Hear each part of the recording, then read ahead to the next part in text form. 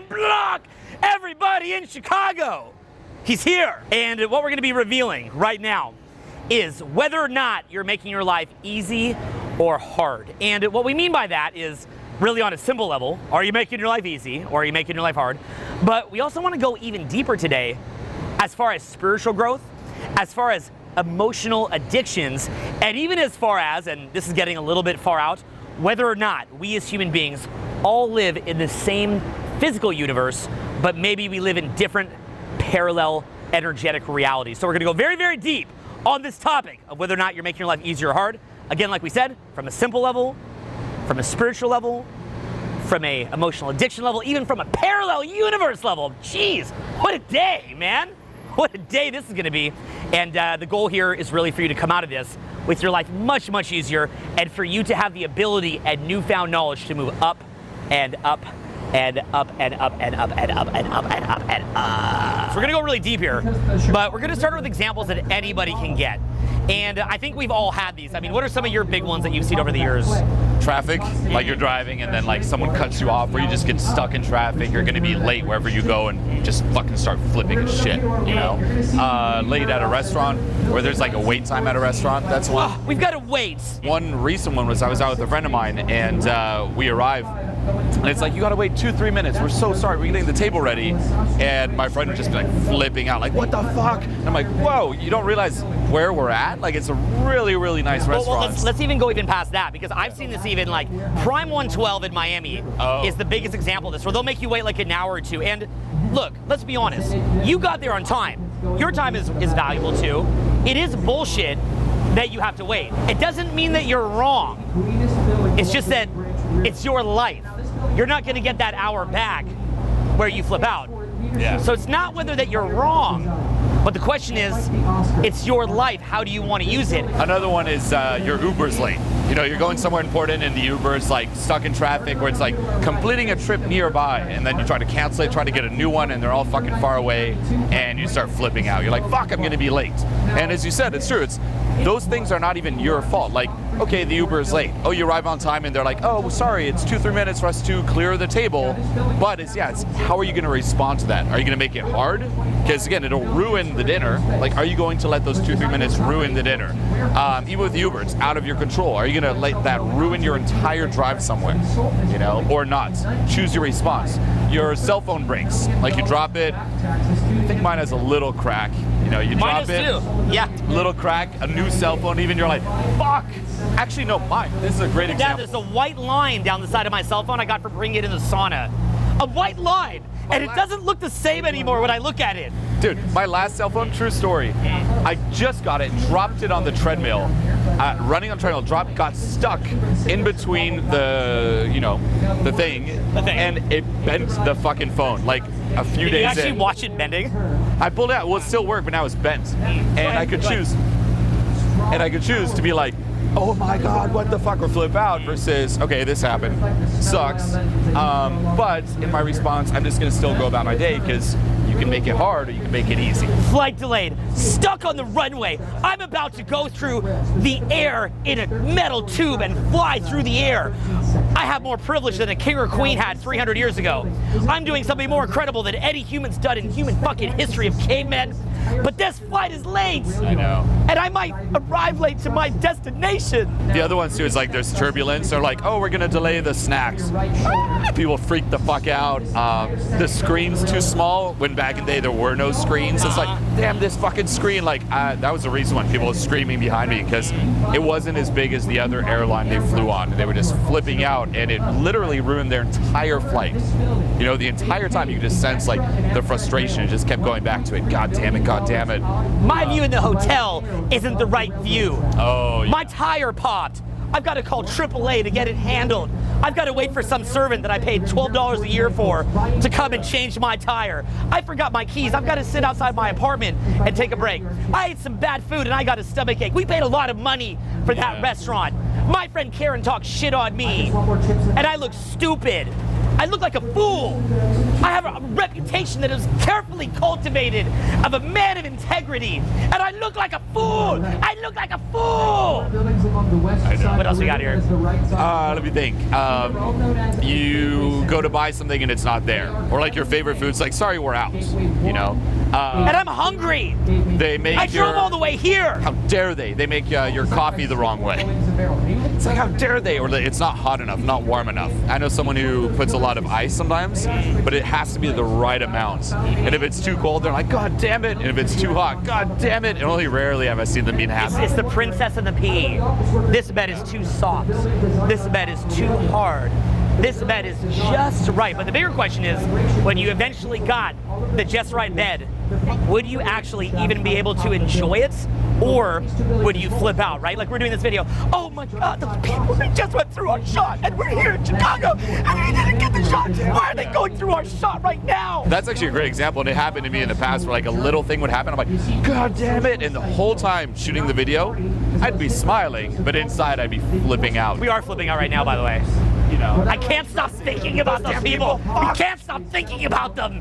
Or a seminar, I have it all you know scheduled like planned out, and I miss one point, and the whole rest of the seminar I'm like, It's ruins. Exactly. Jinx, by the way. Jinx.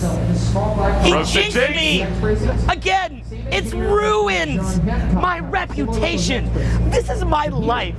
This is my life. Or someone's late. No, someone's mm. late. You're on a date. Someone's late. How dare they disrespect my time being late for this? Yeah. I mean, pretty much endless. There's an endless list of these little things. And that, and that is the beauty of life, is there's endless shit to piss you off. Endless. As Winston Churchill says, history is one damn thing after another. You probably heard the thing where people say, you should go to a poor country and see how hard it is for them. And that would give you more perspective. A lot of people recommend reading the book Man's Search for Meaning by Yeah, Viktor Frankl. Viktor Frankl. Do you, do you know the story behind that one? Yeah, I mean, if you haven't read that book, read it. It's uh, to get a little dark here. It's probably the most, you know, horrific book you'll ever read. Um, it's horrible. It's absolutely horrible. And I've read it actually, you know, many times recently on a plane ride, and the whole plane ride, I was just like, and it just shoves you in your fucking place. You know, it's like you have your little problems, and you just feel so stupid every time you read that book. Um, that'd It, be- it gives perspective. yeah, it, it shifts perspective. Like, you know, my little first world problems. No matter how bad your problems are here, read that book. It'll shove you in your place. You're just like, whoa. This is like a really big thing that I've, I've really, um, I can't say I like that this has happened, but I feel like I've grown from this. Okay, so let's say, for example, let's use, let's go back to the Julien Blanc media scandal. So if you ever want to read about this, Google me, Owen Cook, or Google Julien, Julien Blanc. Google us, research us, and look at all the different media articles that you're going to see. Now, remember back in the day, um, there was the book The Game, and you can read a book called The Game by Neil Strauss. And in this book, Neil kind of had his portrayal of me, and I remember being in my mid 20s and being like, oh my god, my reputation, it's ruined. Or even reading like little comments online. Say somebody took a live program and they didn't like it and then they were trashing it. Or somebody like didn't like one of my articles online and they're trashing it. Or people didn't like a video and they left a negative comment. And you feel that loss of approval and you kind of want to manage it somehow. Like Kevin Durant recently was apparently screwing around on Twitter. And my understanding was he was making fake accounts to respond to kind of fix his his um, his reputation on Twitter because he's kind of he felt kind of bad because he went to the Golden State Warriors and then some people kind of tooled him for it and then he kind of felt bad about it. I'm not clear on the story. I probably shouldn't spread false gossip until I've researched it all. Yeah, yeah. If we didn't quite get it, we'll put a little comment at the bottom about what really happened. But the basic idea being is that when you feel like you're losing approval, it seems like a big deal, and you get a cortisol spike from it. You get a spike of negative emotions. But funny enough, what I loved about the Julien Blanc fiasco was you'd see like the one negative article come out, and then be like, "Our reputation," but then another one came, and then another one came. And then another one came, and another one came, and another one came. And then we were eventually contacted by almost every major news media outlet in the world who crapped all over our life's fucking work, misquoting it, and basically just like cutting it out of context. Instead of talking about the people who we spend all night coaching and crying with and helping and the marriages that we created and all this stuff that we did to change the world, it's just like, look at this quote out of context. I mean, probably a lot of stuff we could do better or do differently, and that's why we want to learn from it. We're not even downplaying like that. Like, we're open to criticism. We love criticism, and we did learn from that and change things like what we do. But the point is, just from our perspective, going through that process of at first one article, then another, then another, and then it being so many Yeah. that you realize your concern about your reputation was fucking bullshit. It was fucking nonsense. And it's almost like say that like you're going bald, right? Like I'm going bald. But then you realize you could have cancer. Then you realize you could be getting chemotherapy. Then you realize you could be getting amputated limbs. Then you realize that your loved ones could die. Then you realize that you could die in a car accident. Then you realize that entire countries of people, not whole countries, but like in Thailand, a wave, a tsunami could kill, I think, around a quarter million people. And you could have your all your friends wiped out. And all of a sudden you realize that you live in this small little reality, fucking petty, petty to this short, brief experience of life that you have, and not realizing how much worse things could get, and how when you're sitting there being a fucking crybaby to somebody who's seen more extreme fucking craziness, you look like a fucking clown. And a lot of the time, I'll see girls, for example, that can't get in a club, and I'm like, and they're crying, and I, I literally walk up and I'm like, I'm jealous of you. Your life must be fucking amazing that you're crying over this.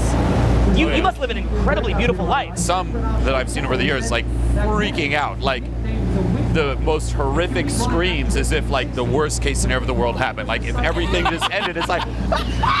like it was i'm just like whoa and like trying to hit the bouncer like physically trying to attack the bouncer for disrespecting them it's like my dress i always get it and their friends trying to hold them back and i'm just like whoa you know You know, an ex-girlfriend of mine, we were going to a very special event in Miami, and it was a, a very upscale event. And she realized that the dress that a sponsor, because girls who do modeling sometimes they get sponsored dresses, a dress was supposed to get mailed in. Yeah. And what happened was she couldn't get the dress mailed properly, and she had to wear. It admittedly, it was a pretty clownish dress for a party of that level. You were at that party, by the way, the one in Miami in the in the uh, Oh. Star Island. And funny enough, she was just flipping out about it. And weirdly, even though she flipped out, I kind of relate to it. I know how that feels. You know, you kind of plan things in one way, and then somebody kind of screws you over and it doesn't happen. You started to flip out. Like I felt empathy for her, but her body is so fucking fine that even in her crappy little joke dress, she still was fucking stunting in the faces of every other girl there for the most part, and um, it looked amazing and had a great night. And what's funny too is like, I mean, take even like the media fiasco. Like we're sitting here out in Chicago, and funny enough, we only ever really talk about this for video as a good example, because a very evocative example. But we don't think about it. Life moves on. When my ex-girlfriend got to that party, she just went there. She started mingling. Life moves on. And what you realize in that moment when life moves on and everything's okay and everything's fun is that you made you took all this pain over fucking nothing, over nothing, and you experienced all this negativity and heaviness. You made your life so fucking hard yeah. over something that would pass. And the best, eh, the best thing that helped me with this, it helped me tremendously. It was T.I., the rapper, and he was about to go to jail, maybe for even 15 years, because he got caught with guns. Now his friend was murdered in front of him. This is what gets lost in the sauce um, in this whole T.I. thing, because he was kind of dumb to have all that, all those weapons on him, and kind of stupid. But his friend was gunned down, one of his best friends right in front of him. So he had this like fucking armory of guns. He got caught with it, and he, I think he was already on probation or had previous offenses or convictions. So T.I., the rapper, was looking at serious jail time. Now eventually, I think he was he was sentenced to maybe like a year or two. wasn't too bad actually. But what wound up happening was, an uh, interviewer said to him, "Are you stressed out about going to jail?" And T.I., he looked at interviewer right in the face, and he said, "You know what?" I'm gonna spend a year in jail, and he's scheduled to go to jail in about a year because like his sentence was was gonna be starting in about a year. But I don't want to serve two years in jail. I just want to serve one because, and that's paraphrase. But if I serve, if I'm stressed about it leading up to the year, Yeah. it's as if I served two years in jail. So if you're gonna stress over something, you've got to realize you're adding to the pain. So, for example, when I was coming here to Chicago, I came last minute. It was like a last minute choice. We just decided we're going to come. And I remember three different Ubers canceled, and it was about 25 minutes. And what wound up happening was then I hit traffic, and I realized I might miss my flight. I might not get to make it to the event last night. But I realized in that moment, I'm going to suffer from this either way if I miss the event. I don't want to suffer more than I have to. Maybe I'm going to make it to the flight. Why even freak out? Yeah. You don't know for sure that you're going to miss that flight. So why freak out if you don't even know that that flight's fucked? And guess what? made it. I made the fucking flight. So I would have suffered over literally nothing. Imagine right now if you had a health diagnosis, like a cancer diagnosis, but really it was a false diagnosis. You could stress about it so much, you could give yourself something like cancer. You know, that's extreme, but you know my point. If you stress about it too much. So you've got to realize that oftentimes you're making life harder than it has to be. And I want you to really go right now and catalog in your mind everything that's gone wrong in your life, and yet here you sit staring at your phone or your device, or if this is the future in some weird 3D reality that you're watching of Tyler and Julien Blanc, and realize that all this bullshit that you've had in your life, you're still sitting here now watching the fucking video. Did it really matter? I think the answer is no. This is back in the day. I was getting to the airport and I was late, and the whole time I was like, God damn it, God damn it, God damn it, like flipping out to the point where I was like, God damn it. like stressing out in the back of this taxi. And literally, we start driving. It's like we're stuck, and it's been like that for 20 minutes. And we finally get to where it ends, and there was an accident, and it was like seven cars. I kid you not, seven cars that hit each other. Um, I don't, I didn't see anyone hurt, but like there were like some ambulances, and it just like made me shut up. I'm like, that could literally be me. Here I am bitching. I'm like, God damn it! It's like, holy fuck, you know. And it's true. Like we think that stressing out about something will fix it. Jump! Jump! Jump! Um, we literally think like it'll fix it if we just stress out. But in reality, as you said, or you know, as T.I., as the famous T.I. once said, um, you know, whether you stress out or not, it doesn't change anything. And say it doesn't happen, like you make it on time, stressing out is a waste of time. And if you miss it, guess what? You know, stress out then if you like, but stressing won't help either. So it's lose lose. There's nothing you can do. And it's. Reflecting back on your life, there are so many instances where I thought it's over. Like we literally overblow. We're like it's over. Fuck it. Um, or situations where we think there's no way out. We're just flipping out. Like in the end, here we all are. That was also something a friend of mine reminded me during the scandal because I was flipping out, and uh, he told me he's like, think of the previous times you started flipping out or you thought it was over and how two three years later here you are. Imagine that right now if you're going through a lot of adversity watching this imagine two three years in the future i told you hey it'll be okay. You had a guaranteed signed contract from the universe from god saying it'll be okay. Your experience going through it would be much easier In any situation, you can become a victim or you can move up, okay? You can get bitter or you can get better. And it's all in the interpretation. And I think the major key here, and this is what I've wanted to communicate to girlfriends of mine so many times. So if you're an ex girlfriend of mine and I love you, this was an issue that we had. I'm going to share it with you here for video. Even though I told you in person you never listen to me, maybe you'll listen now that you don't get to see me anymore because I love you. Anytime that there is a problem, you can take it as you being a fucking victim, or you can take it as a chance to build emotional fitness. Now, let's say that word emotional fitness close into the camera. Emotional fitness. Let's say it again. Emotional fitness. One more time. Emotional fitness. And the reason why we repeat that is because anytime something happens, it's your chance to use it to build your emotional fitness muscle. Look, you you walk to the gym.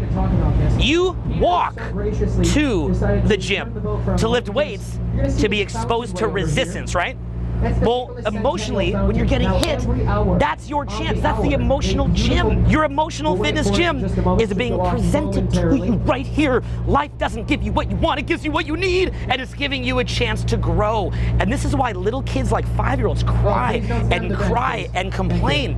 But adults learn how to take it. Like, I remember when I was a kid, and I would even eat something that tastes bad, and I'd see my parents eating it, like say vegetables. I hated vegetables when I was a kid. Did you hate vegetables or no? I did. Okay, because I got exposed to processed foods. So then when I got real food, I was like, this doesn't taste good like from Orange Crush. Switzerland, we ate real food. No, lucky you. That's why you're tall.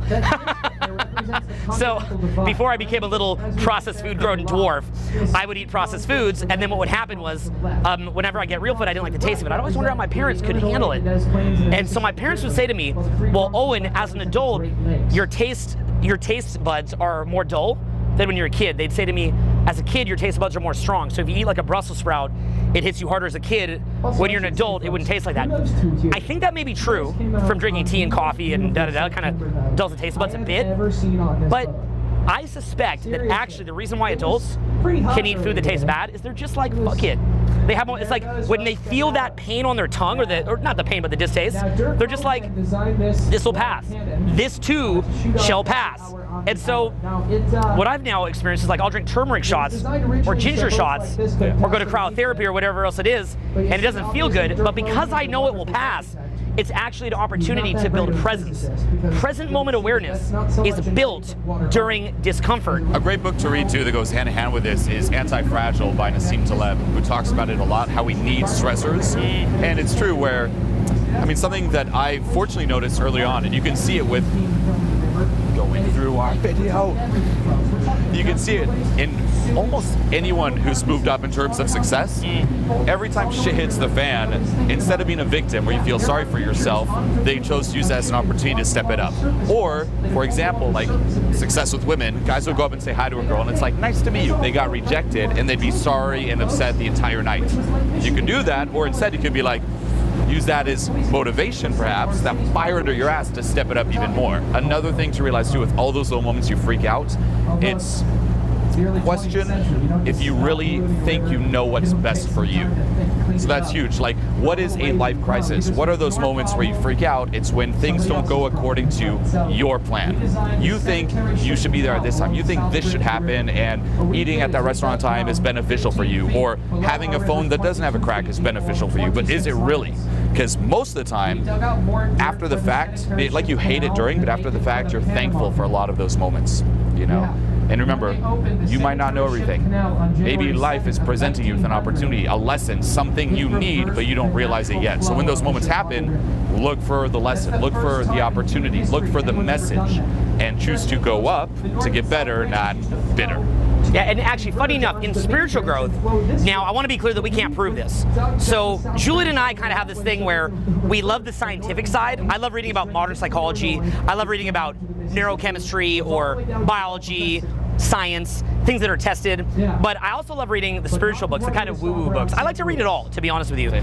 So to me, I'm, I'm, not I'm not one of these people that just bought into anything I read. I love different perspectives. So one of the perspectives that they have in Eastern spiritual growth, or even a lot of like the New Age movement, which I don't identify with, Julien doesn't identify with, but we love it because it's just kind of cool. You can kind of just sort of take some things from it, even if it even if it kind of rubs you the wrong way and the people in it don't sync up with you. You can still get a lot of value out of it, and I really enjoy that. So what they will say is we actually are reincarnated. And before we're incarnated into this earth, we choose our problems. And we forget that we're souls. We come to the earth with all these problems that we pre planned and chose. And I mean, this is kind of weird, but they'll even say that we come with a soul family. And so our soul family actually comes to the earth pre planned, even people that we're enemies with, funny enough. And our soul family comes and plays these roles so that we can learn. That's why sometimes, if you ever see me have a dispute with somebody and then I never speak bad to them, it's as fucked up as this is, in my mind, I'm like, that's probably a guy from my soul family that's here to teach me something. So I'm like, I'm not going to be mad at him. now you know. okay, how crazy the dumb shit in my mind is. But that's the frame that I try to take is that we, we were incarnated on this earth with all the problems pre-planned, and every time that the problem happens, that's a chance to move up. Now, what's funny about that frame, here's what's interesting about it. Whether you believe that, like the soul family, or whether you're more of a scientifically minded person, or you like modern day psychology, simply ask yourself a question. What outcomes would it have to believe some nonsense like the soul family? Well, not nonsense really the soul family. But you see the idea of that. Well, what would happen is whenever something bad happens, you would have a empowering belief system where you feel like you planned this, and then you'd be like, oh, this is cool. What's the lesson here? I'm excited. Yeah. And there's not a moment wasted. I'm getting another lesson right now. I don't get to fall in my comfort zone because usually people fall in their comfort zone, it kind of sucks. So whether you believe the soul family argument or that you incarnated here with this all planned, don't worry about that. But maybe just try it as an experiment and see how it affects you. And what you might find is it affects you so well by the, you know, in a year from now, you start to believe it, even though it's nonsense, but you start believing it just because it's so helpful. I just I, that was something that I found. Maybe you know, for other people, I think that other other things kind of sync up with them, and that's just too out there. But I'll use everything. Like I view that as a tool. Like I choose to believe that at times. I also question if again I know it's bad or not. Like say you really want a promotion and you don't get the promotion, you might think like, fuck, this is horrible. But is it? Maybe in the long run it helped you. And if you got the promotion, something would happen where you're not very happy. Or like a relationship you wanted to go well and say you break up and now you're with someone else, you're like, oh thank God that ended. You don't know if it's good or not. You know? That, that the breakup one I think is the most the most visible and obvious of almost any of them because every breakup I've had I've been just crushed if it was a girl I was really tight with and yet every single time it always turns out her greatest gift to me was to let that die and that is so so strange that it works out that way and I, I don't even know if it's just a trick of the mind and it just feels that way but I've never gone backwards I've never had my next girlfriend and been like no I really want back that previous girlfriend I'm always just incredibly happy and grateful that she allowed that to end strangely right Yeah. but it's very powerful to go through that experience And that's why the first breakup's always hard for people because they're like, will I ever get this again? But when it happens, say, a few times, then you have that trust where it's like, the universe has my back. It'll all be fine. I'll still be here two, three years from now watching a video with my new girlfriend, and Yeah, it'll that's be true. That's true. Comment in the comments if you're watching this a year from now with your new girlfriend and you were crushed at the time. And by the way, my theory on this is, and I'm sure you'd agree, this is that the universe has your back if you strive to understand universal principles Yeah. and to surrender to those principles. So every moment that you have a challenge is an opportunity to say, what is the universe asking from me? And can I use this as a chance to surrender to that? Because when you want the physical, you crave the physical to look how you want it to look, you're now moving down. Yeah. But when you say, okay, you know what? I'm going to go into presence now, I'm going to move up, and I'm going to move with the world. So, for example, in the study of, say, success with women for some of our clients over the years, they had to make a decision do I want to cry about this girl who I've lost? Or do I want to actually say, I'm going to move into abundance? One of the great universal principles is abundance. The belief that there's many opportunities or people in the world. And when you move with life and you flow with life, then the universe has your back. Now, when you resist the universe, see, because the universe is kind of moving you along the stream. And if you start fighting against that, you're going to start getting beaten until you surrender to what the universe wants. But the universe is essentially this moving wind. And if you put the sail up, the universe will push along your sail in the direction you need to go, even if you don't believe it. But what'll happen is, if you're like, no, I gotta go back that way, Yeah. when you turn around, it's like boom, boom, boom, and you're like, oh. We get fixated on that little thing that happened, you're no longer going with the flow. Someone walks around the video, God damn it, that person, that person. Life already moved on. The universe moved on. Stop hanging on, stop being stuck. Let go and go with it. And uh, this is what we talked about in our last video too, where yeah, it's easy to say, you know, the universe has your back, but it requires opening up to that. And it's easier to kind of stay in your comfort zone of just fixating on shit versus, okay, abundance. It's all good because it's just too much to take in. the best example I've ever experienced like this was when we made that breakup video several years ago, and I was just crushed during a breakup. It was weird, but every time that that girl, she'd be breaking up with me, and it was funny because during the relationship she would chase me around like a little puppy, but then when she decided she was done with me, the the power dynamic switch, and I was like, no, like classic case, right? A lot of guys have had this where you don't appreciate a girl enough, and then she breaks up with you, and then you chase her back, and it's kind of weird. That happened to me. It's kind of embarrassing, but that's what happened. So I'm chasing her back, and as I'm chasing her back, I can feel it. This is done. The universe wants this to end. I'm meant to move on. I'm meant to have new challenges. I'm meant to grow. This is done. And when I would just let it go, I would start to heal. But then I would keep trying to go back, and every time I go back, she, maybe we'd have sex again, or you know, it would start to be good again. But it was never quite what it once was, and she'd kind of flip out and stuff. And what would happen is I'd realize that I'm fighting against what I'm supposed to do. And when I finally just let go and I accepted she's gone, which by the way, I mean, you know how close I was to her, right? That was the closest relationship of my life at that point. To lose her was a loss of identity. It was it was a- an incredibly difficult transition. And I could never imagine my life without her. I couldn't imagine that we could be sitting here on this boat enjoying life without her. I never imagined that I could be whole again. And the truth is, when we split, I wasn't whole. There was half of my soul was ripped out of my fucking guts, and it was incredibly painful.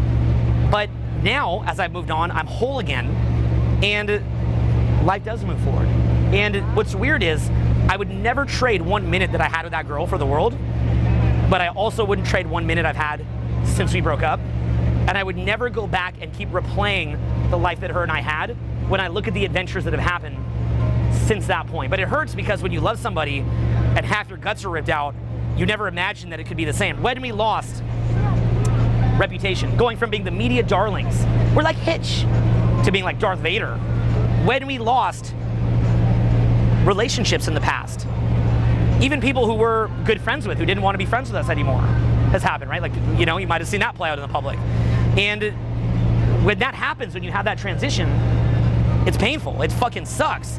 I mean, even take it like, I mean, you know, even like, you know, friends of ours, right? Who we, you know, who we hang out with and who are part of our crew, and then they're not around anymore, and it's kind of scary. And it hurts to, to lose them when they don't want to be part of it. But then all of a sudden, new people come, right? You know, Maze, the guy filming this right now, is actually, you know, hanging out with us. And what's weird is, as much as I miss some of our old crew every day, now we have Maze, and he can film for us. we have our new. Oh, oh, shit. So, the point being that new people do come, right? And it can even be people who are more suited to your current mode of life. You can, it, and it's weird, and we're gonna get into this with the whole parallel realities concept or jumping into different realities. We're gonna get into this, but the idea being that when one reality has kind of run its course, you are you are shuttled into that next reality. You're almost like the movie uh, or the show Quantum Leap. If you ever saw that in the 80s, which you probably didn't. But the show Quantum Leap, this guy, he would go get a lesson, and then when that lesson or mission was completed, he would be quantum leaped into some other person's body and have to play that out. And a lot of the time, life is like that. Like, like at the time of say the Julien Blanc fiasco, we had played out that reality of being the media darlings. We played out that reality of just like doing whatever the fuck we want, having life easy, because the business was just growing and growing and crowds getting bigger, like on top of the world. Played out that reality. And what's weird is the, the lessons that we could have got in that reality, we got them. And then now we get new lessons in the new reality. I mean, if we actually created this script from outer space before we came down to Earth, that's hell. Good, good job, bro. Did it. Good job, Julien. So I know. I think it was good. Who knows? Rationalization. Human beings, you got to be a master of rationalization sometimes. So Like, you can choose your perspective. You can Mm. choose. yeah, you got to You choose to view it. Yeah, you got to be a good rationalizer. Okay, so we're giving you our our loads of bullshit here that we use to get through the day. Okay, really, we cry ourselves to sleep, and then we come out here and we make these videos. We're like, we planned it from our soul family, and then it was all part of the plan. When you do think of weird explanations like the soul family and how absurd that is, it is not any more absurd than just being this pointless carbon-based life form. So any theory is absurd. I mean, when you look at the world and you see, you know, say you go on YouTube or any video site and you look at map of the galaxy and you see that we're on this little dot in this giant galaxy, we don't understand why we're here. We don't know why aliens haven't come to visit us yet when statistically speaking they should have by now. It doesn't make sense. So we don't understand why we're alive. And I like to get you thinking about weird things like that to open up your mind a little bit here and make you realize that there may be things happening that are beyond your understanding. And there's certainly beyond my understanding. But when you start looking a little bit deeper and you do start looking for patterns and things like that, you're going to see things in a different way that you would never, ever expect. And one of those ways is that you begin to realize that you're not as much in conscious control of your mind as you think. So we're going to look at this from a scientific perspective, but also from a energetic or spiritual perspective, and that way you'll kind of have both arguments. Because like we said, we're kind of open-minded to any explanation. So the first one that we want to cover is emotional addictions or your emotional set point. We've covered this in other videos. We're going to gloss over it here, and then we're also going to go deeper into the more weird explanations. The question you should ask yourself here is what emotions, like what sensations do you experience the most on a day-to-day basis? And it's crazy to do this audit. Like we don't want to do it. I always compare it to checking your bank account. Like say you go out and spend a little too much, you really want to log in and see? You're like, no, but ask yourself here, day to day, what are the emotions you experience the most? And you can be shocked here, but you'll notice it's the same fucking thing every single day. There's that saying 90% of your thoughts even today were your thoughts yesterday. The same concerns, the same ups and downs. Uh, if you freak out over like your Uber being late, it probably happens 90% of the time your Uber arrives. Um, it, it, we're creatures of fucking habit. and ask yourself what do you experience the most. And a lot of people, it's anger, anxiety, stress, fear, just like what emotions are you addicted to and what emotions do you secretly love? Because you might think like, what? I don't like that. But do you experience it a lot? Do you? And if that's the case, you love it. Part of you loves it, and you will always find a way back to that. No matter how good shit gets, find a way back to being stressed. If you're someone who's stressed, you could be, you know, say hypothetically I'm stressed all the time. I'd be here and I'd be like stressed out, like, oh fuck, do we, is, is it too loud? Do we have time to shoot? Did we get the shot? If you're someone who's mad, you could be like, God damn it, the people walked in front. If you're someone who's afraid, oh man, are we gonna fucking sink? Oh shit you know what do you experience the most and you can see how that just colors your life and doesn't matter what changes externally you'll find a way back to it Why do these guys keep talking about emotional addictions?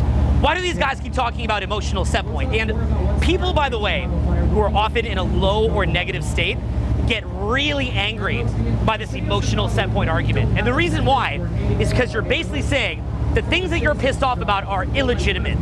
Your anger, your stress, your frustration is just you feeding an emotional addiction. And in a way, and I understand this, it can a little bit come across like, say that somebody I'm friends with, like I'm downplaying my fuck up. Like, let's say that I was late for you, and then I'm like, and then you're annoyed by it, right? You're like letting me know, like, dude, you shouldn't be late. And I'm like, are you just addicted to being mad, Julien? This isn't my fault. It's your fault for your emotional addiction, Julien. And it, it, it can come across as condescending or disavowing responsibility for your mistakes. So I want to be clear here that when you understand that this is part of human nature, that doesn't let you off the hook for fucking up. And it doesn't mean that anybody that's annoyed at you is wrong and they're just emotionally addicted to negativity. It doesn't mean that. What it doesn't mean though is that there's two parallel things happening. One thing that's happening is you're fucking up. And in your reality, you should work to stop fucking up and improve that. But the other thing that is happening, let's be honest, is most likely if that person is freaking out, even though they're right that you should do better, they're probably addicted to negative emotions. I've had it to where I'm dating a girl and I fuck up and she freaks out. And I say, I say, I say, baby, I love you. There's two things happening here. One is I'm fucking up. And I'm owning that. I fucked up. Baby, I love you. I fucked up. And I'm gonna work on it by doing this, this, this, and this. I'm gonna own this. I own it, and I'm sorry. But we also have to talk about the fact that when you flip out this hard, there is something else going on. And that's not me taking away from the fact of what I did wrong, but there is this other thing kind of going on on your end to where, let's be honest, even if I didn't do this, even if I didn't fuck up, you probably would be mad at the airport clerk. You probably would be mad at the waiter. You probably would be mad about the flat tire. You'd be mad about something. When you have an emotional addiction, your body is seeking to get what's called emotional homeostasis. Your body is trying to keep in the same range of emotions because back when you're a caveman or cavewoman, your body was built to be in a very similar environment every day. You'd go pick your berries, you'd go hunt, you'd make your fire, you'd have sex. And you do this again and again and again. So our bodies are built to go into a homeostasis of emotions that work for us. So maybe if we were in an environment where being mad was helpful, somehow it helped, our bodies would learn to get mad all the time. Our bodies would learn that to keep homeostasis, get mad. Understand that this vestige of evolution is actually fucking up your life right now. And you, whenever you're getting mad, you're pro- if you get mad about a half an hour a day, again, as Julien said, do the audit. Probably every day you get mad about a half an hour a day. If you're somebody who gets mad two minutes a day, probably you get mad two minutes a day. If you're somebody who's happy and laughs about 30 minutes interspersed throughout the day, you'll find some way to get it. And so when you see someone who's addicted to anger, you're gonna see them kind of sitting there almost like a ticking time bomb, waiting to go off. And then as soon as that thing happens that they were waiting for, boom, they go in the addiction. And if you learn to observe this, you'll see it in other people. But by the way, that's the easy part. The hard part is seeing it in yourself. And you've got to ask your friends for feedback. Something to help me is what turns me on. When are you turned on throughout the day? Not sexually, but when do you come alive? And you'll see it When like you come alive. when when do you come alive, uh, you'll see it in the eyes. Like we could be talking about a friend that's doing well. You know, yeah, his friend's doing well. And say with someone who's hooked on bitching or gossiping, they'll be like, that's nice. But then I could talk about John, where I'm like, did you hear what happened to John?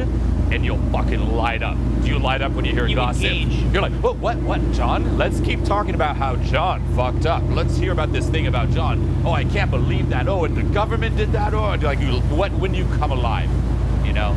And it's crazy how, I mean, just look at how mainstream media is designed. Most people come alive when it's like, oh, unfairness, blame, outrage versus here's some good news. This is where this is going to get even weirder because what we're going to suggest is that even the people who you choose to be around are people who actually feed whatever emotions that you're addicted to. I've seen this a lot of girls where I say, describe to me your last five boyfriends. And if they're like, he cheated on me, and the other one cheated on me, and the other one yelled at me, I realize that if I'm really nice, and if I don't cheat, there's actually a chance that that girl will leave me for a guy who does, because that guy is feeding that reality. And I've seen this even with like say guy and guy business partners where they're always bickering and fighting. And they'll always complain about each other. But if they were actually to partner with somebody who wouldn't engage in that energy, they wouldn't have a sense of identity anymore and they wouldn't be able to continue. I've even had it where I've seen disputes with people where they're, they've been fighting and fighting for years, and you make it to where there's no reason to fight anymore. It's done. We fixed it. It's done. It's over. We figured out the solution. But what happens is that I'll see, like, say, those two people, they will find a way to do something so crazy to keep that fight going. And the whole world is like, what are these guys doing? This is crazy. But what winds up happening is that they, if you were to solve it, they would no longer have a sense of identity. And by the way, I would even say to you, if your last girlfriends have been chaotic, where's your addiction? When I look at some of my exes who've had issues, I don't just look at them. I look at myself and I say, why am I getting involved with girls that are doing that? And I've had some incredible exes that were way above my level in the salt of the earth, so maybe that maybe there's hope for me or you know whatever. But you see the general idea. You've got to start to ask yourself, why is it that you're getting involved with that? I've also seen it, by the way, to where I might be involved with somebody, whether a friend or ex, and I can see that like as I was growing, back when we first met, I was more in that chaotic reality. And then as I grow and I'm coming more into peace and joy and abundance, they're not kind of on that same track and they're sort of living in that old parallel reality.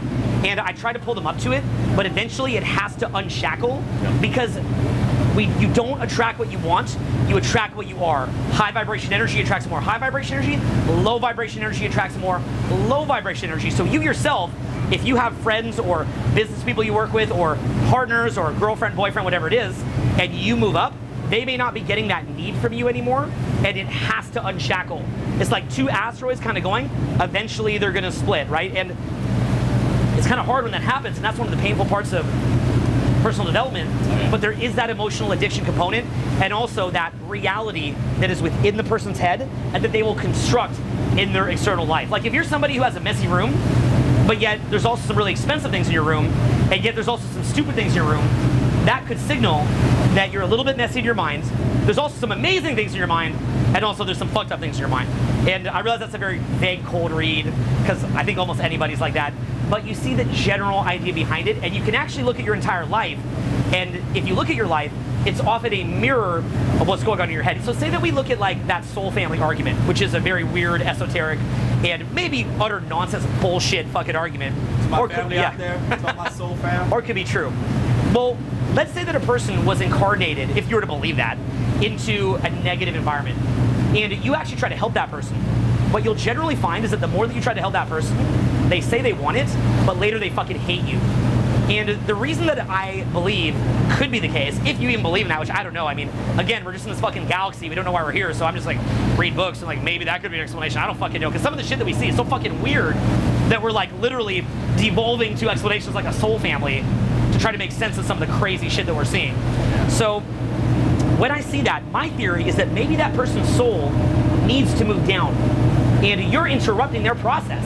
It's like part of like their their life's plan, their soul's plan was to move down, and you're like, no, no, no, we're gonna go travel and make money and laugh, and they're like, I didn't come here for that.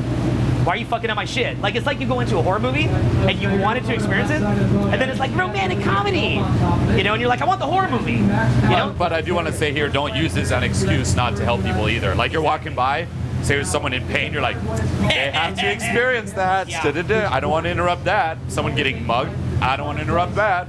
So because because maybe they came here to actually to receive help and you could have given it to them but then if you keep trying to give help and they clearly don't want it then that's when you unshackle.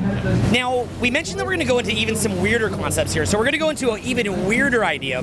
And we mentioned this in the video that we shot in denver but we're going to dive into it a little bit deeper which is this idea that we want you to imagine yourself like this balloon that's trying to move up. And it's in the balloon's nature to move up, but there's these chains that are holding it down.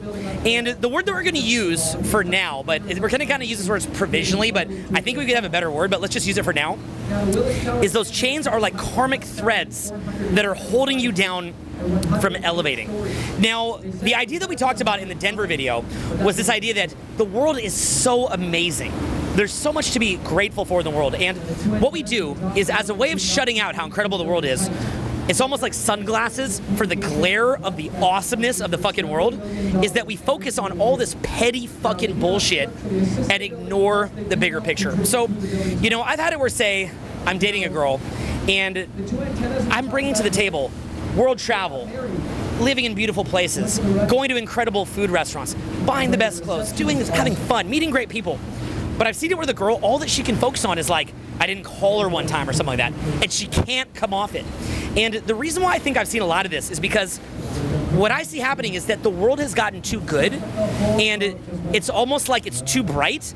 And to wear sunglasses to shut off the glare of the fucking awesomeness, it's like, you didn't call me that one time. Oh my God. And sometimes I feel like when that girl will see that, it's like, look, to keep this shit moving forward of all this awesomeness, we got to be focused. We can't be getting mad about like, like if I got mad about every little small thing like that, the business would fall apart because we have issues like that every day, yeah. right? And you you become who you hang out with. So if I became like that, then every single time there was a problem with like merchant processing or some missed sales thing or some website that goes down or some video that got fucked up or you know we had our um, one of my mics ran out of batteries so now we have to share the mic. Like we got to share the mic now. Oh my god well, there, when you run a business, there's so many problems that are going to happen. Or if you try to be successful in any endeavor, there's so many problems that are going to happen that if you don't have that emotional fitness to deal with that, your life is going to be freaking miserable. So you have to have emotional fitness before you can even take your life to another level because more money, more problems as you move up more crazy things are going to happen. Now, understand that these karmic threads are essentially distractions from how amazing life is. So, what I want you to do is I want you to think about places you could travel to. Imagine you travel to Africa or to Hawaii or to any environment where things are just so, so beautiful. I want you to really think about that. Imagine just looking at your hands right now and just a little print in your hand. Look at the person next to you. Look into their eyes. Take a deep breath of fresh air. Get present for a moment. Look at your computer screen. Look at your phone. Look at the technology. Think of how amazing life is. Why can't you just let that in and freaking be happy? Why can't you? And my opinion is that what it is is that your soul isn't ready to move up yet. Now, what would happen if you kind of just let that go and you became super present? And instead of focusing on a million things that are bothering you, you chose to focus only on the most incredible things in the world. Let's say that you focus just on gratitude. Let's say that you were to focus on things that are teaching you, things that you're learning, the fact that your emotional fitness that you're building is amazing if you focus on joy, experiencing the moment. Like, how often do you go to a great restaurant and you still sit there kind of pissed? How often do you maybe meet a great girl and she becomes your girlfriend and you thought you're gonna be so happy when you got that girlfriend, but instead you're exactly the same? Right now, you probably make more money than you did a few years ago. And you probably thought that when you made that money, you'd be happy, but you probably feel the same. Hopefully, you do enjoy it more. But you see my point. Probably a lot of it's the same. Maybe some of it is better. But you see the general point here, okay? And if it doesn't fully apply, look at the parts where it partially applies. Well, what's going on here? What I would challenge you to do is for one hour, just for an hour, just to be present. Just be present to the moment. Just take in the awesomeness. Let it in. Open up that perception. Let the perception open up. And say to yourself, rather than focusing on a million things, I'm going to focus on being present to the moment. I'm been to focus on learning and what's helping me. I've been to focus on building emotional fitness when things don't go perfectly. And anything negative that I do want to focus on, I'm just going to focus on the constructive aspects of it and move forward. And think of how much of your mental dialogue is just on a repeat of negativity or projection or thinking about bad things that can happen or bad things that did happen. And what would happen if you just allowed your awareness to rest in the present moment? Well, the thing with being present to the moment is that it builds.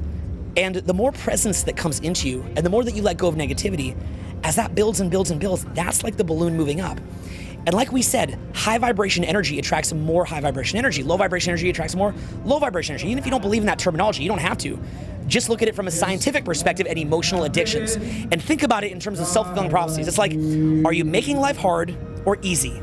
If you're sitting there and thinking of hustling all afternoon and you're in a bad mood about it, what if you're just to be in a good mood and you just took a walk and on that walk, you're in such a good mood that you met somebody who could help you, and that person that could help you was attracted to your great energy, and all of a sudden you worked only 5% as much to achieve 100 times the outcome. It's like snakes and ladders, right? You don't need to crawl up that painful the time. Sometimes you can just slide down the snake, but you make your life harder than it has to be because you're stuck in a limited reality. So, what I want you to ask yourself, whenever you're reacting to something, say to yourself, is this real? Or could I just let this go and move up? Like if that person cut you off in traffic, is the anger real? Or could you just move up? It doesn't all have to be so hard. Life can be easy. And as life gets easier and easier and you become more and more positive and you let things go, it's like that balloon is moving up and it's catching the current and it's just going. And to me, that's the kind of flow that you want to get into. So to build on the soul families, you know, we got a little weird. Why not go weirder and talk about parallel realities? And uh, to really hammer this point home, think of when you go to, I mean, there's that, there's this liquor store in Hollywood on, you know, Sunset Boulevard and every time you walk in, it's right next to this awesome club. It's like everyone's like partying, having a blast, and you walk in there, and you just kind of feel like you've entered this weird pocket of energy. You know, this new, this this other dimension. You know, people like just kind of heavy. Like you're, I always hear people complaining around that area. Um, it's just very heavy, very dark. You go up and like, you know, I'm just getting some chewing gum, and someone's like mad, just like here, like your pain. You're like, whoa, you know, where was I? And then you walk out, and it's like. Oh, you know, um, or you go to say um, the sauna, you know, the spa, and you walk in, it's like, oh, it's a very soothing place. You know, and, and, that's a great example too, because some spas, some Russian spas or Korean spas, actually are very dense Ooh, and heavy. So there's actually, so it's, and that's a great example. It's not just the environment; it's the people attract that environment. Because some of the Russian bodies you go to are like the heaviest environments you've ever seen, or the Korean spas where some guys are like whacking off and like staring at you and shit. And I've seen that guys like stroking it while staring at me, and I'm like, huh, interesting spa here. And then other spots you go to, it's very light and refreshing. The same with uh, spiritual circles, by the way. You'd think, oh, in the spiritual health shop, it's very light. And sometimes it is, but other times you hear a lot of bickering and a lot of negativity. You know, it just feels very heavy. And to recognize this, I mean, you do have to get in touch with how you feel, go into your body, and even watching this video now, what environment are you in? Are you in a little pocket of that negative energy, or do you feel very light?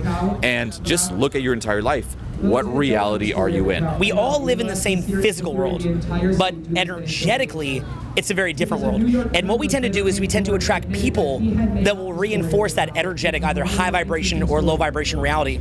And we tend to be attracted to places and jobs that will go along with that reality that we're in. So the way to think about it, if you want to go in that kind of weird spiritual version, is you say that you made a decision to be incarnated into this life, and you're now seeking out people who will reinforce the lessons that you're here to get, and environments that reinforce that. And your entire life's drama playing out either in a very heavy way or in a way that's very light. And like we said, a lot of time, if you try to pull somebody out of that, they're very, very pissed. And so the more that you help somebody to pull out of that, if they're resisting it, eventually they can really hate you or snap on you and start calling you an asshole and all this all this derogatory shit because you're trying to show them something better. And for me, that's actually what it was when like the people who I saw that were kind of living in a heavy world that I tried the hardest to really pull up, seeing the blowback on that made me realize that you've got to be You've got to bring people into that reality that are ready to be there. It's like, say you take a homeless person and you bring that homeless person into a beautiful apartment and the couches are nice and the pillows are plush and the bed is comfortable and it's very temperate, it has a great view. That homeless person, they might be in the same physical reality as you, but in the same way that we talked about, where somebody who's addicted to talking shit, they get enlivened with negativity, but when you joke with them, they kind of disconnect. You'll see them retract. That's what you'll notice. They they retract during laughter. They retract during peace or positivity. That positive environment will actually disturb that person. So, say the, yeah, the homeless guy, some of them might really like it, to be fair. They're like, wow, this is the best. Thank you. But many of the other ones will actually need to go back down. Or even if they're in that beautiful environment, they need to take drugs. Like, you know, it's like, oh, I gotta do my crack now in the beautiful environment. Or I've got to get a, in a fight in the beautiful environment. I've had it to where I've lived with people who are living in the most like epic palatial mansions that you've ever seen, but they find a way to come back to negativity and pain, even living in that beautiful environment. Yeah. And it's like wherever you go, there you are. And you might be in a better physical reality, but unless you have a higher level, higher vibration internal reality, you might think that you're moving up, but actually it might cause more chaos than you'd ever imagine. And with this too, by the way, ask yourself like around what people do you get turned on again? I love that word, turned on. You know, who are your people? And I remember back in the day, say I was around people who bitched, I'd feel like, ah, this is my tribe. And then you'd put me around people who were say a little happier, and it would be exhausting. It was like I was playing a certain role. And then when I'd get back to the people who bitched, oh, I could be me again. So around who are you? You. So we're on the home stretch here, and we've provided a lot of very weird concepts. Concepts that are very out there. And again, to reinforce, always look at a broad range of ideas to think about how you're processing your life. So you want to be looking at the emotional addictions, the science, the psychology, and if you're interested or you think it's interesting, you can look at those spiritual aspects or even this weird stuff about parallel realities. And also, never just believe anything out of hand. Everything that we told you about that we kind of maybe believe, it's more just models that maybe could make sense or maybe could just be utilized and whether they're true or not doesn't matter as long as it helps you to understand your life better and to improve okay? Human beings there's so much information and things we don't know about the world. So if you have a set of beliefs that's just helping you kind of just play with those use them while they're helping you and then if they don't anymore then just let them go okay? So whatever resonates with you use it. But just wrapping on this whole parallel realities idea whether or not it's a spiritual thing whether or not it's a like because some people actually believe that there's infinite different realities that we move into. Like when you just shift your state, you can even move into a parallel reality. Like super weird idea. Could be true, might not be true. Like maybe there's this other version of you out there that's making millions. This other version that lives in a cave. Like all this different stuff, right? Because I mean, when you think about the concept of infinity, again, think about infinity. Maybe that could be true. Maybe there could be a soul's plan, a soul family, or maybe not. Maybe it's just a cold, harsh world, and we have emotional addictions and inner psychology, and maybe that's what's running us. Who knows? Who cares? Just understand it. So let's just sort of take that, and regardless of what model you kind of resonate with or go with, let's just wrap this on the home stretch with practical examples of how you can get a sense for this, how you can see it in the world, and what you can do to change it. So, the first thing we want to do is we want to get you kind of a palette or inner sensitivity about what it is that you're really feeling. And the way that I think about that is I think about that kind of derp state that I go into when I'm sitting there watching random videos online when I'm kind of tired. And a lot of the time, I think to myself, well, maybe I should edit my own videos. And then I'll jump into, say, Adobe Premiere, which is the software that I use to edit. And I start seeing these videos that I know if I release that video, that video is going to improve my career. It's going to improve my reality. It's going to put my life situation on such a, a different level that the video itself begins to frighten me. It begins to, and I, I wouldn't say like, ah, like that, but it just repels me a little bit. And I'm like, no, just keep watching videos. And it's kind of funny because I even feel these chains, these karmic threads holding down the balloon from moving up myself, where I look at my life, and even with RSD in low eight figures a year in revenue, in my mind, I'm like, well, why couldn't we be at 500 million or a billion? And I say to myself, to what extent am I addicted to the kind of reality that I have? Maybe, you know, I go out and meet women at night. You know, I work with this level of people who I'm working with. I do this type of work. And it's kind of this loop that has different iterations of it week to week. When in reality, instead of just climbing the ladder, maybe I could slide down the snake. So I feel that reality. So what I'm going to ask you to do is for you to go into your reality and just think about that day-to-day loop that you're sort of in. And think about the emotional fulfillment that you're getting out of it. And think about the needs and addictions that it's fulfilling. Think about how you're kind of moving through that reality and then ask yourself, when am I done? When have I had enough of that? When have I experienced enough of this that I'm willing to say, let's do the next thing. So kind of like what I said with my ex-girlfriend or having breakups, where it's like, okay, you experience that, what's the next thing? And not being in pain or flipping out as if you lost your car keys or something when you have a life transition. So that being the case, what I want you to do is develop a sense of what you're feeling as far as your addictions, and then ask yourself how you react when something more positive is around you. How do you feel? How do you react? And what I notice is that whenever I have, say, a video that would improve my career, sometimes I'm so afraid of my own success that I have to pay somebody to make me sit down and actually finish the freaking thing and put it out. And then when I do, my life gets better, and people are like, "Oh, that was awesome!" Da, da, da. And then my life does move up. But sometimes you got to kind of force it. So what you want to really do is you want to get an idea of what your life could look like. What would be an incredible life for you? And ask yourself, am I willing to give up the derp state or addiction of that kind of derpiness or kind of floatiness that I'm in. And what I really want you to do is, is everywhere you go in public, look at different people, look in their pupils, and look at the, the brightness in the pupils, the aliveness in the eyes. Look at the concerns that they have, the things that they're addicted to talking about, and ask yourself, are they making their lives easy or hard? How hard are you making your life?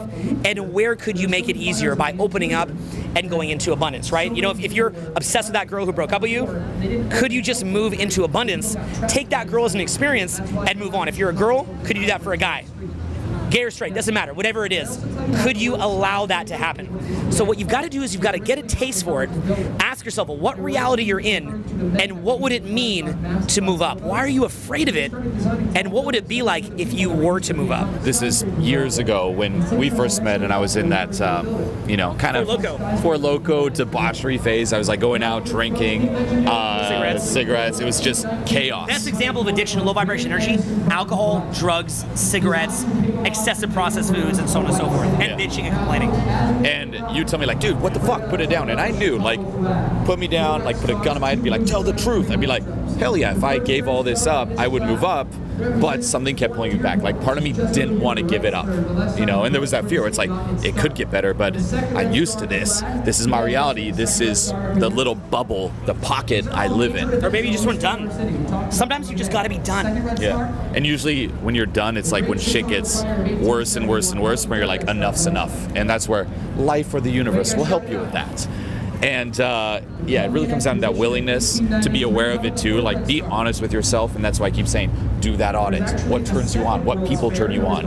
What environments do you find yourself in the most? What is your version of Groundhog's Day, where you just live the same day over and over and over again? What are the concerns? Notice too when there's resistance. You know, a common one is reading a book. I remember in the past I wouldn't read at all, and it would scare me. Like I'd have this book, and I know if I read it, I'd move up, and I'd start kind of reading it, and I'd get very tired. I'd be like, Ugh. epicness of it. Yeah. You put on the shades. The epicness of that book is like the epicness of nature and life and the beauty of life. And you need the shades to put it back on and go into those back into those petty concerns. Yeah, and then just read some shit. Or if I'm watching a video online, it's like, here's the derpy one. Here's one that would perhaps move me up. And let's go with the derpy one. You know, it's just too much. So kind of catch yourself there. Where are the boundaries? Where does it start pulling you back in? And where are you right on the edge of entering another reality? Self audit. What emotions are you addicted to? If you were a spirit, which who knows? Okay, but if you were, is your spirit moving up or is it moving down? If you were in a parallel reality, what parallel reality are you in? What is the one that is difficult, one that is hard? The pain in your life, are you the one causing it? Are you the greatest architect of your own discontent? I predict you are. I think we all are. I certainly couldn't claim otherwise. Or, you know, are you really a victim? I think you're probably the greatest architect of your own discontent. And more than anything, do you have emotional fitness when different challenges come up? So, here, what you've done is heard a lot of different ideas, some that you're gonna think are absurd and garbage, others that you might resonate with, whatever that is. But your job is not to get hung up on how true it is or not true it is. Your job is to simply ask yourself those hypothetical questions as a thought experiment. Most of these weirder topics that we brought up here are thought experiments more than anything because ultimately you're not going to know. Anybody who claims to know this or that, there's many questions about life that we're not in a position to know while we're alive. So that being the case, ask yourself and do that audit and make adjustments. If you do that, and you ask yourself questions like this, realize that so few people ever will ask these questions or really take conscious control over these areas. But if you do, what could your life look like? and really follow like how you feel. You know, you'll always know before going in a certain direction. Like say the Uber's late. You can choose to be upset or to just go with the flow. One option is always lighter, and you'll know. You know, you can complain about something and it can be very heavy, or you could just let it go. That doesn't mean don't fix it, don't take action, but there's always a lighter route. Ask yourself, what is the lighter route? So what's gonna happen is you're gonna turn this video off. Uh. And right now you get it. It's so clear. Everything makes sense. And that's because in this moment, your perception has been expanded. Hopefully, at least if, you know if you're willing to let us do our fucking job, your perception's been expanded. If you're not, then you might even be fighting and be like, that's bullshit, right? Because like you gotta fight it off, you gotta fight it off. But if you've let us do our freaking job, right? It's like, you know, you're having sex with somebody and they're trying to get you off. We're trying to get you off here. If you let us get you off, your perception is expanded. And what that means is now you get it. In this moment, you get it. You're having experience. Soon you're gonna go back to your regular life. And all these things are gonna start to bear down on you and they're gonna start to frustrate you and you're gonna move into negativity, you're gonna move into frustration, and you're gonna move into smallness. And that's okay. Because frankly, if this one video could solve that, then you wouldn't even need to be alive. If you knew everything, you wouldn't need to be alive. If you didn't need more lessons, you wouldn't need to be here. So embrace those lessons. And even when you fall back, look, me and Julien have many more times that something frustrating will happen to us, and we're gonna freak out. And we're gonna forget our own advice, even though we made this video. We're the ones that made it, and we're gonna forget. So for sure, you're gonna forget. But when you do forget, it's just another experience of learning what doesn't work. And it's an opportunity for you to learn from it, to recalibrate, to say, wait a minute, I forgot about what I learned in that experience, right? This is like taking, you know, some crazy psychedelic drug trip, like thinking about this stuff. And you're gonna forget the lessons that you had on that psychedelic drug trip. But then what you can do is you can say, wait a minute, in that moment I had an experience, I can re-remember it. I can see that by me becoming small again, it doesn't help and then you can expand. And that's the beauty of life is that the entire journey itself is for you to experience. And we just thought that maybe we would give you a few pointers here on YouTube. I mean, look, you could be watching anything. You could be watching a sports game, you could be watching some random TV show, or you could be watching this, okay? So we hope that you enjoyed the boat ride. It was very loud. You could probably barely hear it in certain cases, but in many ways, by straining to hear it, you actually would pay closer attention. And in addition to that, what was the point of the video? Well, maybe we shot on that boat on purpose because the point of the video is not to let small, petty nonsense bother you, and you can choose to take in the video or to focus on that loud tourist voice. And this was your opportunity, and this video was meant to be a metaphor of that. This video is meant to be a metaphor of the boat moving through your life. The only constant is you. As everything moves, the only constant is you. There's frustration, and you can choose to focus on the annoying part, like the voice in the boat, or you can choose to focus on the beautiful boat ride and the information and the joy and the bigger picture itself. So we hope that you took this metaphor, which we now revealed to you at the end of the video, to bring it back full circle. Thank you for taking part of this here in Chicago. It was a wonderful evening. Thank you for joining it. Thank you very much. We appreciate it. And we're done. Peace. This is Julien, and welcome to Transformation. It was fucking amazing. This was huge for me. This was so, so important. This gave me by far the greatest epiphanies I've ever had. It just made me finally confront my deepest fears. And we got like real deep, and I found some issues within myself. One of the best things I've seen so far in my life. What you're about to experience going through this program is what completely changed my life on every single level. Okay, be it health, wealth, relationships, higher purpose, you name it. This is the stuff that finally, finally produced that true, long lasting personal transformation we're all after. Okay, now, before we dive into what you can expect when you start your transformation and how this program works, because it is a completely new approach here with new methods designed to produce results for you fast, I want to share with you a little bit of the backstory of how Transformation Mastery came into existence. So I first got into this whole personal development, self-help world back in 2006 when I randomly found out about success with women and the fact that you can work on yourself and transform who you are into someone who is more confident, fun, attractive, playful, so on and so forth. Because up until that point, and I don't know if you know this about me, I was stuck. Okay, I was completely stuck. I was at the bottom. I was someone who was anxious 24 7, who was stressed out 24 7, miserable 24 7, paranoid. I couldn't put myself out there. I couldn't speak up. I wouldn't jump at opportunities. I was just living a very miserable existence. I was depressed. I was overwhelmed. I was drained. I had no energy. And it was straight up hell. You know, on a scale of 1 to 10, if I had to rate my experience of myself, it was a good 3 out of 10. And it's been like that as far as I can remember. You know, ever since I was a kid, like my earliest memories, it was like that. Like that was me, and I had no hope. You know, I kind of came to terms with, hey, I guess this is just how things are. And I had my excuses. Well, You know, I grew up in Switzerland. Maybe if I lived in America, things would be different. Maybe if I had cooler friends, maybe if I was better looking, maybe if I had, you know, I- this thing happened to me, if that person didn't screw me over, so on and so forth. And I just lived a hell of a life. And finding out about this gave me that hope. I was like, whoa, I can actually have control over this. I don't have to stay a victim. I can step it up and change who I am. I don't have to accept this shitty reality, this shitty state of being. And I did. Okay, I became obsessed with transforming who I am. And I optimized everything. I optimized my personality. I became more confident. I worked on becoming more funny, more playful, more extroverted, because I'm naturally introverted. It's like this would be the scariest thing ever for me back in the day. Um, I optimized my life situation. You know, I was like, okay, well, I need relationships with friends, girls. Okay, I need to travel. I need to um, make money. I need to like really live a crazy life filled with these rich experiences. Let's optimize all of that. And I did. And I went all out. And in 2010, I started traveling the world and teaching literally tens of thousands of people, just like you and me, face to face, how to get unstuck as well, how to transform. And I went all out. You know, I perfected my teachings and I would see every type of person.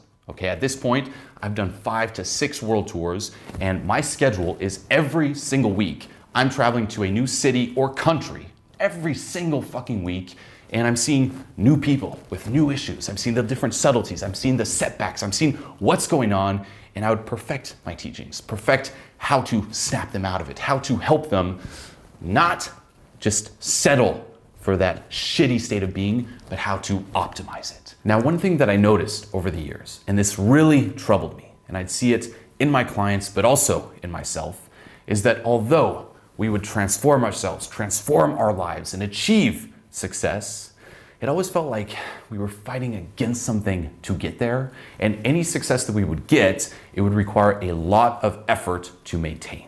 You know, it just felt like something kept pulling us back, like we weren't meant to get the success, like the system was rigged against us. And let me ask you this right now, if you've optimized different things in your life, does it feel like that?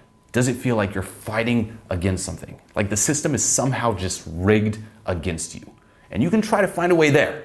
You can really perfect the techniques, perfect the willpower, and hustle your way there, but there's still that force field just kind of pulling you back, pulling you back to ground zero, pulling you right back into misery.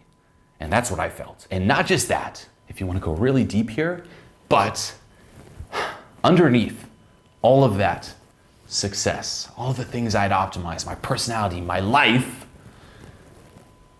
I still felt the same.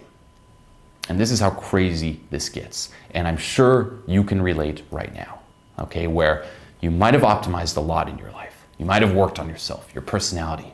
You might have worked on your financial success, gotten a new job, gotten a promotion, gone healthy, improved yourself, read a lot of books, so on and so forth. Just really optimize everything, trying to live a really rich, fulfilling life.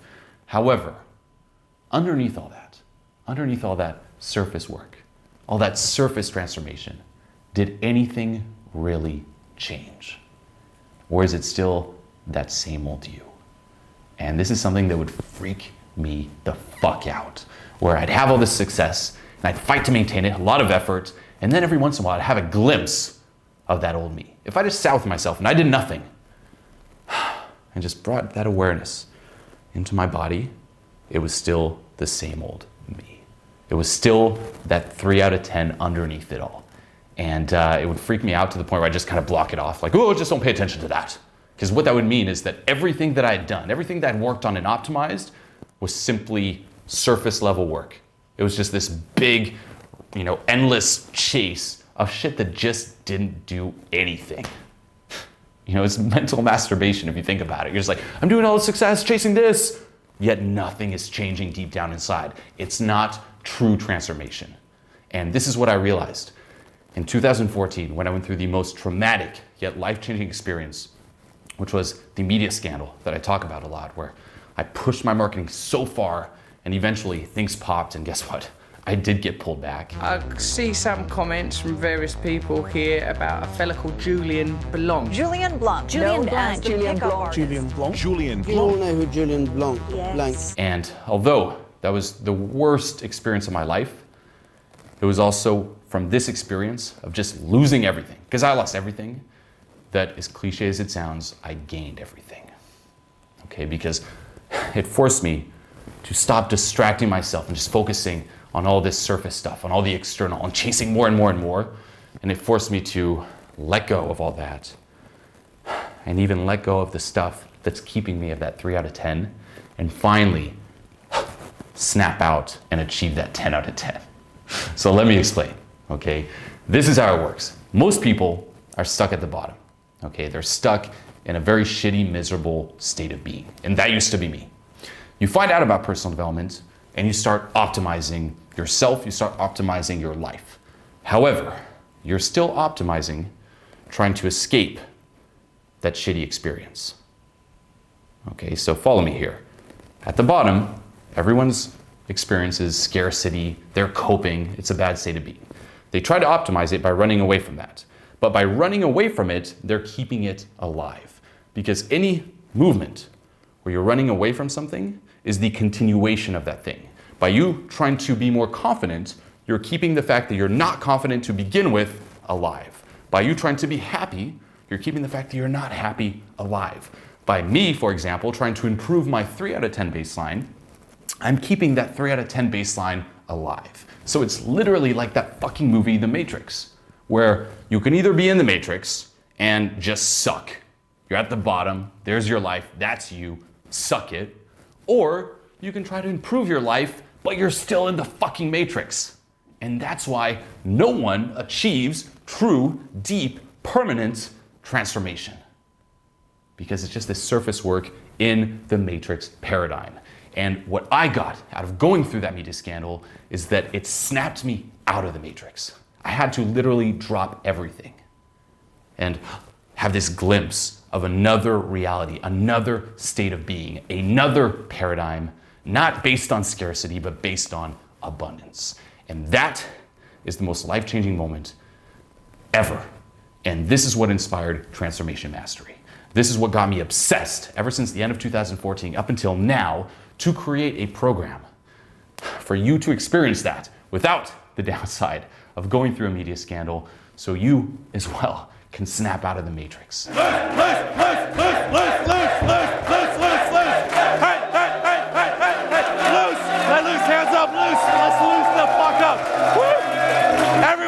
Loosen the fuck up, all out. Hey! This is about results. If you've been following my journey, what I've been teaching, I've always been about results. And this is the next level for you to fucking kill it and get more results. Because if you're coping, and follow me here, if let's just say 1 to 10, you're 3 out of 10. Instead of coming from a solid platform of 10 out of 10 and then thriving and killing it in life, you're coping with this 3 out of 10. Everything you're doing is trying to compensate or escape it. A lot of energy, a lot of paranoia, a lot of like waste is just going into this shitty state I'm just trying to survive with it. And not only that, but guess what? You're addicted to this state. And this is what kept pulling me back and what kept pulling all of my clients back. So when you change this, okay, to 10 out of 10, that's your platform. You're no longer in scarcity, you're in abundance. You can thrive and just kill it even more. And you cannot imagine the possibilities. As soon as I started incorporating this into my teachings for the past two years, the results have been so fucking drastic and so effortless. It's like they've been driving with the brakes on, and those brakes are finally off. And you're just free. I mean, imagine that. Just walking out of your house right now, walking out of the front door, and just being free. Not defensive, not coping, not worrying, not trying to escape it, not trying to numb it, not trying to stuff it down, just feeling fucking awesome and ready to attack life. Just fucking imagine. Loud as you can. I start, I just scream. Or what is it? Like, I scream as loud as I Don't can. think, do. Ah! Ah! Ah! Even more. Ah! Now talk. Bring it. Just don't think, do. I fucking play League of Louder.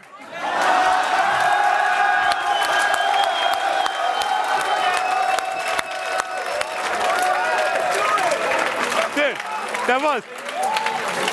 That was it. I I honestly couldn't have thought of a better example.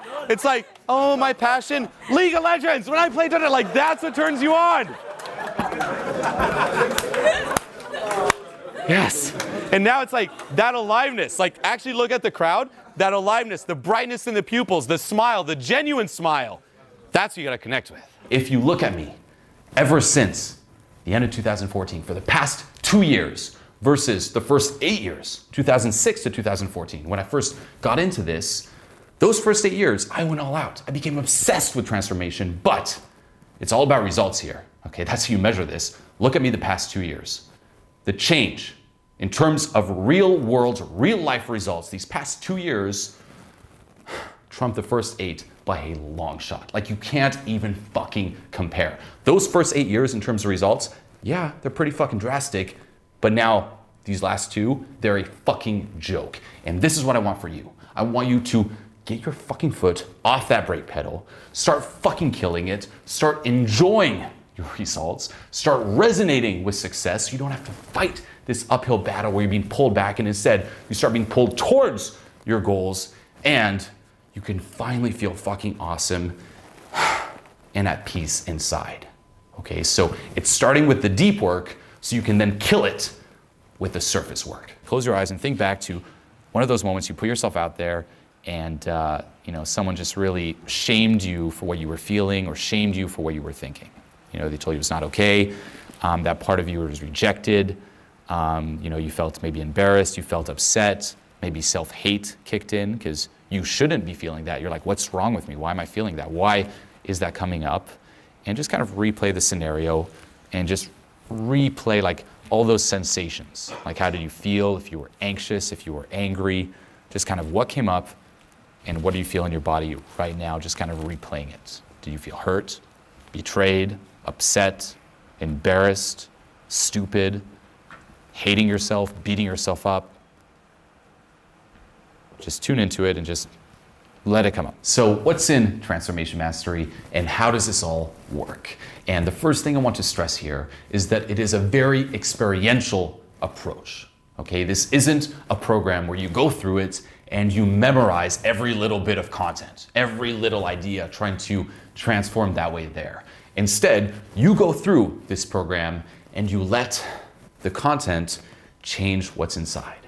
And you will notice the deeper you go into this program, the more little subtleties you're going to start experiencing inside. And I've broken down Transformation Mastery into three main parts. There's part one, which is awareness, part two, which is proof, and part three, which is permanence. And in part one, this is where we really focus on snapping you out of this socially conditioned, scarcity based reality. We're going to examine different paradigms. We're going to examine and question assumptions you've never questioned before and assumptions you didn't even know you were making. We're going to examine cause and effect. And here, I really want to reprogram your brain, reprogram your understanding of yourself and the world. And just by this first section, and this is how crazy it gets, you're gonna have epiphany after epiphany just exploding in your head, and the changes will already start happening. And this is content and ideas you've never heard before. Um, they can be hard to swallow, but you gotta choose here. Do you wanna stay in this shitty reality? Is it the blue pill or the fucking red pill? Which one are you gonna take? Take it, swallow it, and then let's fucking do this. That's the first section. The second section is proof. And this is where I get you to experience everything that we talked about. You experience it firsthand through a guided release. And this is something that's completely new. I've never released anything like it before, where you're going to sit down and it's a guided form of meditation that will get you to snap out of this reality, get you to snap out of the matrix. That's how crazy this gets. And just by this guided release, you will have that proof inside of you. You will finally have that glimpse, just like me, going through a worldwide media scandal, but you will have it from the comfort of your own home. And the third section is permanence, and that's where we go deep into your subconscious, which is another topic most people don't tackle. And this is where a lot of these assumptions and a lot of the things that are keeping this scarcity based reality that are keeping you at this shitty default state that's keeping that alive are buried in there, and you need to let go of those and release them. That's how you make this permanent. So, awareness, you get what's happening. Proof, you have that glimpse. Permanence, we dive into your subconscious, we dive into your childhood, different traumas, different recurring patterns in your life. We break those patterns so you're no longer a prisoner, you're no longer living in reaction, and we completely free you and make this new reality, this new paradigm permanent. And I didn't just stop here. I've also added two extra guided releases where there's a morning release and an evening release. And these are releases that I personally listen to every single day. It's the first thing I do when I wake up. I put on the headphones, I listen to this release.